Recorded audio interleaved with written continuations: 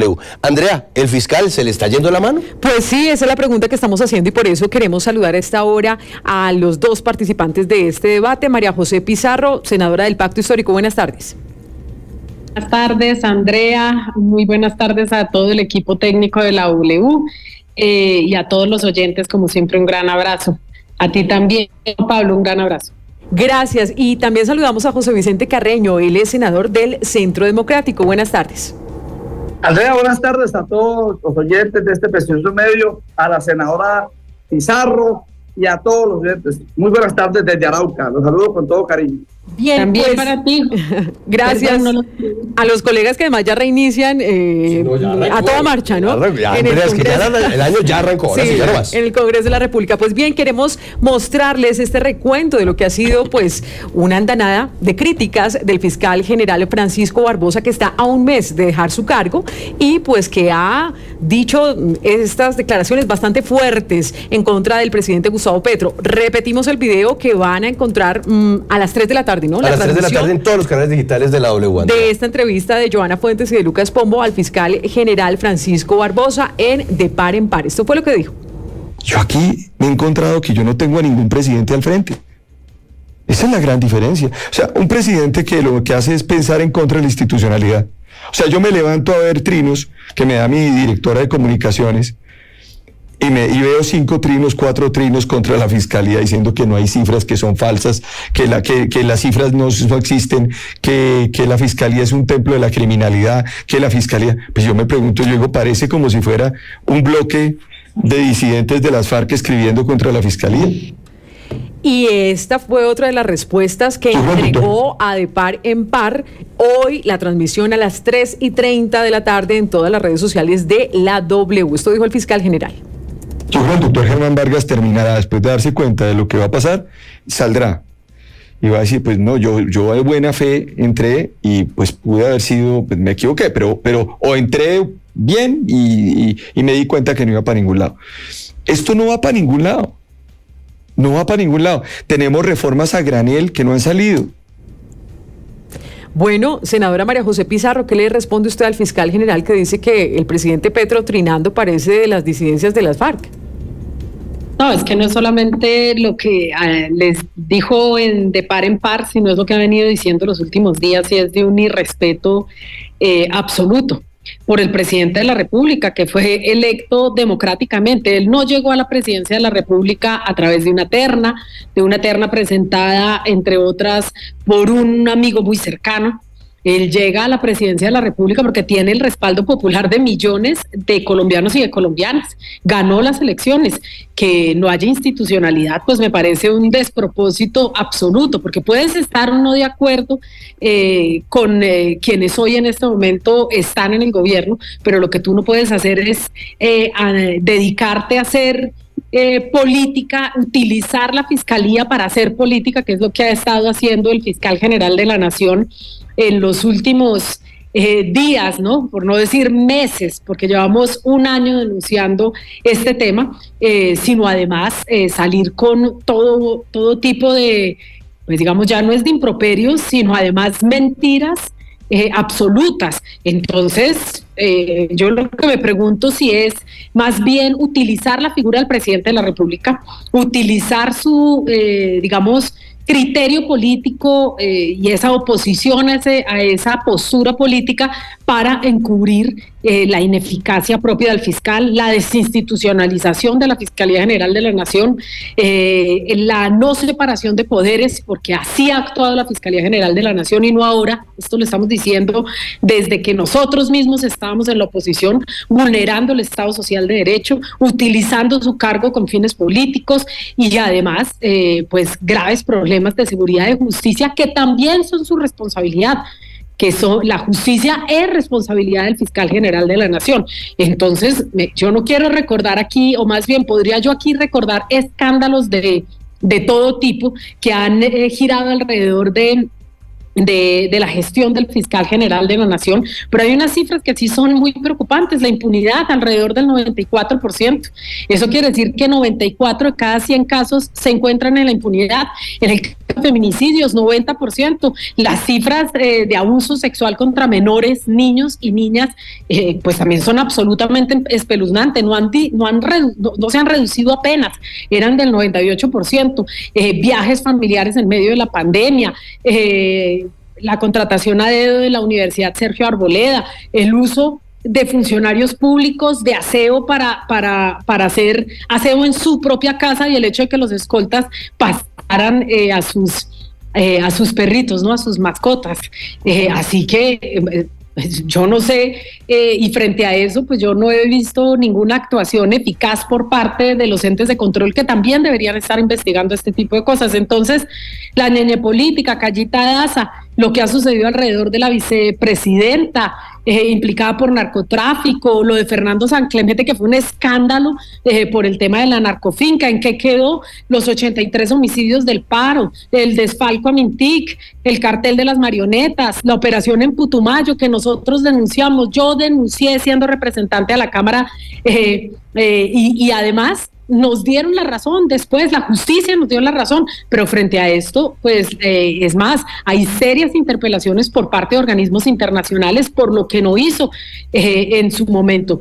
Eh, todo lo sucedido alrededor de Odebrecht, recordarán que hace muy pocos meses hice un debate sobre Odebrecht, quién es el funcionario tres, ¿qué sucedió con las investigaciones? A pesar de que en Estados Unidos, eh, ante la justicia norteamericana, el Departamento de Estado, el grupo Sarmiento Arangulo acepta que tuvo responsabilidad y que sobornó funcionarios, altos funcionarios colombianos. Aquí no ha pasado absolutamente nada y lo máximo que dijo el fiscal es que tendría que viajar y echarse un paseíto por Estados Unidos para entender bien las implicaciones de lo que había asumido el grupo Sarmiento Corpi colombiana allá en Estados Unidos y que aquí no hay ninguna investigación eh, seria. El desfalco a los fondos de paz, las declaraciones de Salvatore Mancuso, dónde están las investigaciones detrás, lo que sucedió con Aida Merlano, el caso de Uribe, de Oscar Iván Zuluaga, las amenazas en contra de Daniel Rojas, de otros funcionarios del Estado, las mismas amenazas en contra del presidente de la República. entonces yo aquí puedo, están, te puedo, y entonces él lo que genera es un escándalo,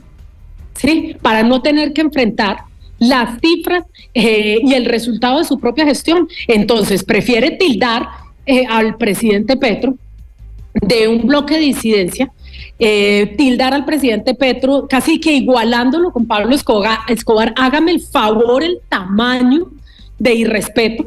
Cuando estamos hablando de un firmante de un acuerdo de paz hace 35 años y que estaba en la institucionalidad, ¿sí? Entonces, y sí, la verdad me parece eh, que no sé, bueno, yo sí, bienvenida a la prensa que ha sido capaz de cuestionar este tipo de declaraciones, así como cuestionamos eh, cuando todos tal vez eh, tenemos alguna expresión eh, fuera de uno, pues en este caso. Senadora, permítame un momento porque usted mencionaba el video de, que en el que hace referencia el fiscal a, Pablo Escobar y ya se lo tenemos, pero quiero también darle la palabra a, a José Vicente Carreño, el senador del Partido Centro Democrático. Senador, ¿para usted esto es campaña política o defensa de la institucionalidad, como dice el fiscal?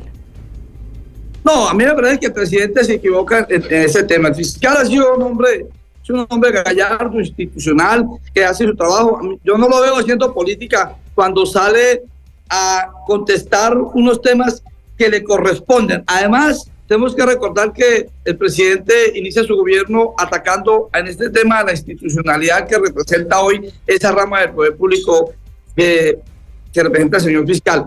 Yo le quiero recordar al presidente de la República que hoy el país sigue descuadernado. Miren lo que está pasando especialmente en los últimos días. Acaban de asesinar, precisamente secuestran a un firmante de La Paz, precisamente María Pizarro, y asesinan a sus dos escoltas que muy seguramente también serán firmantes de La Paz. Pero también les recuerdo que acaba de suceder en Arauca, por ejemplo, en donde estos grupos al margen de la ley que hoy negocian con el gobierno, que hoy están sentados supuestamente en un cese, en unos diálogos, acaban de interceptar una, una ambulancia de la Cruz Roja con, violando todo contexto internacional del derecho humano, de los derechos humanos, del derecho internacional humanitario, en donde bajan a unos heridos, se, secuestran a, a, los tripulantes de la misma, de, esta, de, esta ambulancia, que goce de todas las garantías que usted lo debe saber así, y el país se descuaderna todos los días asesinatos en las regiones del país, departamentos que estaban controlados, eh, que la fuerza pública tenía controlado hoy como el Meta, por ejemplo, vuelve las disidencias o atacan, atacan a plena luz del día, se presentan asesinatos en todas las regiones del país. Entonces yo creo que el presidente tiene que dedicarse a organizar la casa con las instituciones, con la fuerza pública y no atacar las instituciones que hoy trabajan como el tema de la fiscalía. Me parece que se ha dedicado a otras cosas y no a ordenar la casa. El país hay que volverlo a. El fiscal hace un trabajo serio, todos lo hemos visto. Lo que pasa es que al presidente no le gusta que salga el fiscal a contradecirle con todos estos hechos que todo el país conoce. Bien, pues, mire, a propósito de esas declaraciones, porque no solamente esta que dio a de par en par a nuestros colegas de la W, que recordemos la transmisión será hoy a las 3 y 30 en todas nuestras redes sociales, sino también a los colegas, por ejemplo, de Red Más, al director de este espacio mm, informativo noticioso, Giovanni Celis. Muchas veces considera que se puede romper la institucionalidad del país eh, radicalmente. Yo creería que Colombia tiene la posibilidad de ser un país resiliente. Hemos vivido momentos difíciles, pero hoy desafortunadamente, si hace 25 años el país lo puso en jaque Pablo Escobar, lo está poniendo en jaque Gustavo Petro. Muy fuerte lo que acaba de decir usted, porque es el presidente de la República. Pues es que el problema de él es que no ha asumido su rol de presidente de la República. Entonces, Colombia ha tenido momentos muy difíciles. Pablo Escobar puso en jaque al país. El cartel de Cali puso en jaque al país. Gustavo Petro está poniendo en jaque al país. Pues eh, yo quisiera preguntarle a María José Pizarro, a la senadora, sobre este caso que no es un hecho nuevo. Recordemos que en el pasado también el procurador Alejandro Ordóñez estando en ejercicio de sus funciones, en su administración, pues hacía campaña política y finalmente terminó lanzándose a la, campaña presidencial sin que tuviera éxito. Debería existir de aquí en adelante un control para que los eh, funcionarios de los organismos de control, los jefes de los organismos de control, no lleguen a ser candidatos y se dediquen durante su ejercicio de funciones a hacer campaña política. Pues mira, mm, lo primero es que si tú, eh, yo, yo solo quería antes de responder tu pregunta una, una aclaración que me parece muy importante para la opinión pública. Eh, ¿Tú cómo combates eh, la corrupción? ¿Cómo combates la inseguridad? ¿Cómo combates los grandes males que aquejan a la sociedad colombiana? No lo vas a hacer únicamente implementando una política de seguridad, sino además eh, y esto, esto está clarísimo, es garantizando que la impunidad deje de ser la reina de la justicia colombiana. Es decir, cuando tú tienes niveles de impunidad tan altos, 94% de los casos, 94 de cada 100 casos, pues por supuesto siguen existiendo y es casi que una carta blanca para delinquir, una carta blanca para abusar de niños y niñas, una carta blanca para seguir robando los recursos públicos del país. Así que lo, primero que desestimula el actuar criminal es precisamente que eso tenga castigo. Sin castigo, pues básicamente nunca vamos a tener unas mejores cifras de seguridad y no vamos a tener unas mejores cifras de lucha contra la corrupción. Por supuesto que esto tiene que ir articulado y por eso ahí es tan grave de las declaraciones del eh, fiscal, a un fiscal eh, Francisco Barbosa. Eh, y es porque, eh, pues efectivamente lo que ha hecho, lo que él ha hecho los últimos años, pero especialmente este último año, es utilizar la Fiscalía General de la Nación como una plataforma política. Y ese no era su rol. A él no lo pusieron allí para que hiciera política, a él lo pusieron allí para que la justicia fuera imparcial y la justicia actuara con eficacia, que es lo que no está sucediendo en este país. no está sucediendo hoy y no ha sucedido en años, en años. ¿Sí? Eh, y, aquí todos tenemos, y, hay grandes casos muy sonados que nos demuestran eso. Entonces, lo que debería hacer el fiscal general de la Nación es primero separar muy bien sus posiciones políticas, sus ambiciones políticas eh, eh, de su cargo como fiscal general de la nación. Pues por supuesto que él podría presentarse más adelante, nadie lo impide, pero ese no, no es eh, no, no, le corresponde en estos momentos. Y sí creo que debería haber un tiempo para poder, digamos, ejercer política por fuera de una institución que hoy que es importantísima en nuestro país, no es cualquier institución, todos, todos hemos estado esperando verdad, hemos estado esperando justicia durante décadas, ¿sí? Durante décadas. Así que me parece que bienvenido, vuelvo y digo yo, en la crítica a eh, no solamente la desproporción de los comentarios, sino al hecho de que el fiscal general de la Nación esté utilizando la fiscalía para eh, hacer política. Esto no puede permitirse, no debería permitirse. Ahí, en estos casos, la justicia que se vuelve parcial y no imparcial. Y nosotros necesitamos una justicia eficiente, una, portal, o sea, una institucionalización cada vez más fuerte de la justicia, respetar la separación de poderes. Eh, eh, afianzar y fortalecer el Estado social de derecho, no utilizar su cargo con fines políticos y, por supuesto, como decía al principio, que la justicia y la seguridad, cuando hablamos de altas dosis de impunidad que tenemos, pues por supuesto están afectando directamente esto, que es una preocupación de todos los colombianos. Quiero volver con el senador eh, Carreño y preguntarle, a mí me llama la atención que en su respuesta usted simplemente hace un balance del panorama de lo que está sucediendo hoy en Colombia, pero no, no responde a la pregunta si cree que está mal que el, fiscal, general de la Nación esté haciendo diferentes eh, pronunciamientos que nada tienen que ver con la justicia en nuestro país, teniendo en cuenta que justamente fue elegido para que eh, le dé ese acceso a todos los colombianos a la justicia. ¿Cree usted que ningún proceso ha sido afectado, que todo marcha bien en la fiscalía, independientemente de esos pronunciamientos que ha hecho el fiscal? Pero es que los pronunciamientos que ha hecho el fiscal es el pronunciamiento que haría cualquier colombiano y más con la responsabilidad que él le asiste, porque yo no he visto en ningún momento que él haya dicho que quiere ser presidente de la República.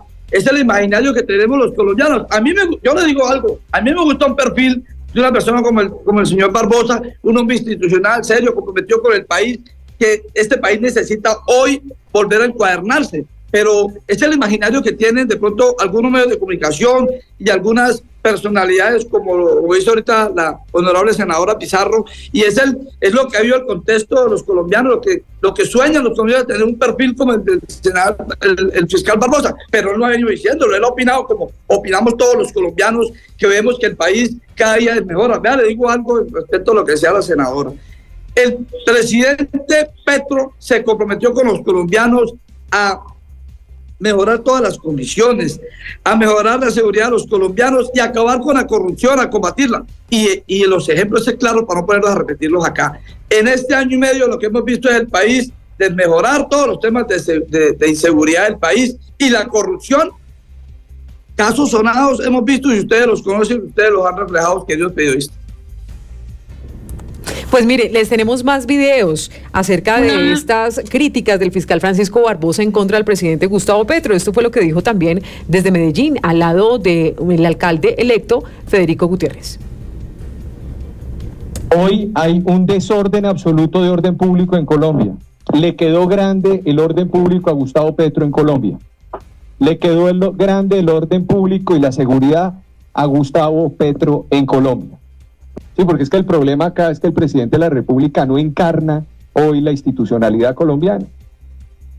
Él encarna la antiinstitucionalidad colombiana. Bueno, eso es quiero, quiero retomar estas palabras y arrancar con el senador eh, José Vicente Carreño. Senador, hablando de institucionalidad, que es la expresión que además utiliza ahí el fiscal general de la Nación, un fiscal está para descalificar al presidente de la República? ¿Eso no es ir en contra de la institucionalidad que él mismo señala defender ahí? Pero es que el señor fiscal es un colombiano más, que todos los días observa lo que está pasando en el país y no se equivoca cuando dice con toda contundencia y es la verdad que el país ha desmejorado en toda la seguridad. Eso lo vemos todos los días. No me, vemos, por ejemplo, hoy que la FARC y el ELN sigue asesinando. Senador, perdóneme, pero es que usted dice, el, fiscal, usted me dice que el fiscal es un, es un ciudadano más. No, es el fiscal general de la nación. Es un hombre que tiene unas responsabilidades como representante del Estado. Como representante del Estado, no debe respetar lo que opine, piense, haga o decida el presidente de la República, que finalmente fue elegido democráticamente. Usted tiene razón, claro, él es un colombiano con un cargo hoy que representa una de las ramas del poder público, por supuesto que sí, pero le, digo algo más, es que precisamente tiene que salir a opinar porque es una persona representativa en el país, por supuesto. A mí me parece que, que se en eso. A mí me parece que hay personas que no pueden salir a decir estos temas porque a la vuelta de la esquina salen a amedrentarlos, amenazarlos o asesinarlos. Nosotros que representamos de una u otra manera al pueblo colombiano, pues tenemos que salir a opinar y a decir al presidente en que está equivocando. Claro que estoy de acuerdo, el presidente hay que respetarlo, todos lo respetamos por la dignidad que él representa, pero eso no quiere decir que no podamos salir a opinar. Yo, eh, adelante, senadora María José. Sí, es que, mira, yo creo que uno no puede justificar lo injustificable, ¿sí? Eso de entrada. El fiscal general de la Nación, como tú bien decías, Juan Pablo, no es cualquier colombiano, el fiscal general de la Nación. Y cuando sale y hable, está saliendo a hablar como fiscal general de la Nación. Es más, en el video que acaban ustedes de presentar, lo hace en medio de un Consejo de Seguridad en la ciudad de Medellín. Por favor, él no está hablando, eh, es que, que lo hagamos, perdóname, José, tú y yo, como senadores de la República, es una cosa, pero que lo haga el fiscal general de la Nación, el fiscal general de la Nación, o el presidente de la Corte Suprema de Justicia, o la Procuradora General de la Nación, o el Contralor General de la Nación, son cosas muy distintas. ¿Sí? Son cosas muy distintas. Uno no puede igualar al presidente de la República, ¿sí? Con Pablo Escobar. Por Dios, por favor, por favor, es que no hay un grado, eh, dicho, no hay ningún comparativo posible con uno de los mayores asesinos del país y una persona que ha estado en la institucionalidad los últimos 35 años. Es que quién se es fiscal general de la nación, no señor. Aquí todos los colombianos merecen respeto. Aquí todos merecemos respeto. senadora, así como le dijeron al presidente en su momento. Sí, senadora, permítame porque es que yo quiero retomar esto que usted está diciendo y transmitirle esa inquietud al senador eh, José Vicente Carreño. Senador, ¿a usted le parece? Usted es un senador de la República, ¿usted le parece bien que el fiscal general de la Nación, que es una de las máximas autoridades judiciales en el país, compare al presidente de la República con Pablo Escobar, un hombre que secuestró, un hombre que ejecutó atentados terroristas que mataron a decenas, centenares de colombianos, un hombre que contrató a sicarios para que mataran a ministros y a periodistas, un hombre que narcotraficó todo lo que usted se imagina, un hombre que hoy día, hoy día, 30 años después de su muerte, sigue siendo uno de los símbolos los más eh, reconocidos en el mundo de la mafia y la criminalidad. ¿Usted le parece que esa comparación es correcta por parte del fiscal, senador Carreño? Por que todos quién fue Pablo Escobar, pero le digo algo, el fiscal comparó los momentos, no las personas. Yo no vi que él haya dicho es que el presidente Petro es igual a Pablo Escobar. Él, él claramente dijo, Pablo Escobar puso patas arriba al país, por decirlo de alguna manera, y hoy el gobierno no, no encuadra o no arranca a hacer el trabajo que le pusieron los colombianos, pero no hizo la comparación de personas como tal. Y si no, ¿y cómo hizo eso? José, pero perdóname, José, ¿cómo, ¿cómo puso en jaque el país Pablo Escobar? a través de atentados terroristas, asesinando policías. Por supuesto que sí. Eh, asesinando a cientos de colombianos y colombianas. Por, supuesto que sí. Ah, entonces, por, favor, no me vengas con comparar, por favor. Por favor. José, yo te llamo a la sensatez y te lo digo con todo cariño. Tú puedes estar en contra de Petro y querrás defender al fiscal general de la Nación, pero hay cosas que son indefendibles. Yo sí te pongo que te pido que te pongas en tu lugar de senador de la República. No, no, por supuesto. tú, que eres del Centro Democrático y yo defendamos la institucionalidad de este país y defender la institucionalidad de este país es a salir a rechazar las cosas cuando no están bien. Y lo que hizo el fiscal general de la Nación en sus declaraciones no está bien. por Dios, no lo justifiques porque es injustificable. No, no lo estoy justificando, pero si analizas el video, nunca comparó las personas, comparó momentos históricos del país. Lo que pasó. Senadora María José Pizarro es que esos momentos en los que se puso en jaque la, la, institucionalidad fue a través de atentados terroristas. ¿Usted cree que el presidente Gustavo Petro también está poniendo en jaque la institucionalidad como lo hizo Pablo Escobar? No, no, el presidente Petro hoy lo que yo lo que considero hoy es que tiene que tiene que hoy volver a encuadrar más el país, que tiene que comprometerse más con las instituciones, con lo que está pasando hoy. Como ejemplo claro le pongo lo que pasa hoy con el ELN, que sigue asesinando, sigue extorsionando y sigue secuestrando y no hay desde el gobierno central que le pongan mano dura a ello. Esto es lo que hay que hacer y cuando el fiscal habla de la época de Pablo Escobar que puso en jaque el país, hoy hace una comparación, mandó la persona, los momentos históricos. Senador eh, Carreño, eventualmente, cuando salga de su cargo Francisco Barbosa, si se llega a lanzar a la presidencia, ¿a usted le gusta como candidato presidencial, eventualmente? Pues, a ver, a, mí me gusta un perfil del doctor Barbosa, a mí me gusta un perfil, un hombre institucional, un hombre comprometido, un hombre con toda la gallardía y toda la preparación para gobernar el país. ¿Por qué no? Pero esperemos que sea, es que aquí lo que estamos, nosotros mismos lo que le estamos haciendo campaña al presidente, cuando al, perdona, al, al, al, fiscal. Es que eh, eh, ese, esto es como, como el, el, consenso que tienen los colombianos y lo, vieron figuras presidenciables cuando salieron sus declaraciones. Pero yo no he escuchado eso del fiscal, de boca del fiscal, ni de las personas más cercanas a él no va a decir, bueno, estoy en campaña política y empiezo a decir esto, pero lo que se interpreta por muchos, como María José Pizarro, es que sí está eh, haciendo méritos para ir arreglando el camino de cara a la presidencia. Pero finalmente, senadora María José Pizarro, ¿esto se queda simplemente como un reclamo público de usted como congresista o se vienen más acciones eh, que ustedes puedan emprender por lo que usted considera una falta de respeto contra el presidente Gustavo Petro? Y también qué esperar con la vicefiscal que queda a cargo hasta que no se defina de fondo quién va a llegar al ente acusador. Pues bueno, lo primero, eh, evidentemente nosotros estamos analizando muy bien las declaraciones y qué caminos jurídicos eh, se podrían tomar y la idea aquí no es entrar en una especie de combate, sino todo lo contrario, es sencillamente cuando hay una extralimitación de funciones, pues por supuesto, allí eh, quienes estamos ejerciendo un, un un, control político, pues por supuesto tenemos que actuar. Y definitivamente el fiscal eh, puede que no avance en la desinstitucionalización del país, pero sí en la desinstitucionalización de la fiscalía, precisamente a través de estas declaraciones. Esto es una eh, tristeza. Eh, realmente eh, es deprimente este tipo de, declaraciones. En relación con la elección de la nueva fiscal general de la Nación, pues obviamente instar a la Corte Suprema de Justicia a actuar lo más rápidamente. Tiene tres perfiles de tres mujeres eh, independientes, autónomas, valiosas, que pueden estar al frente de esta, eh, institución, que pueden, eh, digamos, darle fuerza, dignidad, autonomía, sobre todo separación de poderes a la Fiscalía. En eso yo creo que no hay ningún tipo de crítica a los perfiles que, y a la terna que presentó el presidente Gustavo Petro.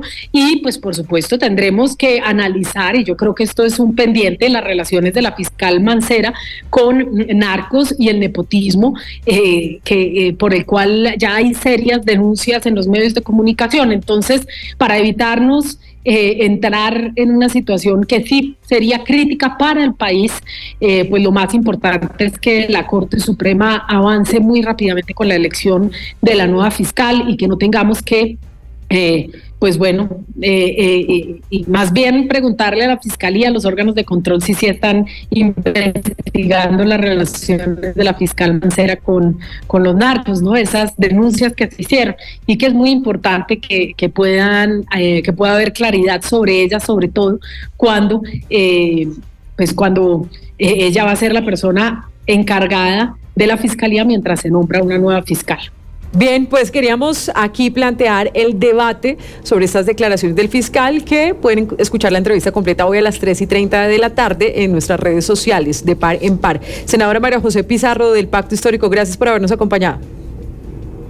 A ti muchísimas gracias, Andrea, Juan Pablo, a todos los oyentes de la, de la W, como siempre, un gran abrazo y un saludo para José Carreño, que ya en 15 días nos vemos por aquí en el Congreso de la República. como que aquí nos vemos. Senador José Vicente Carreño, del Centro Democrático, gracias por acompañarnos.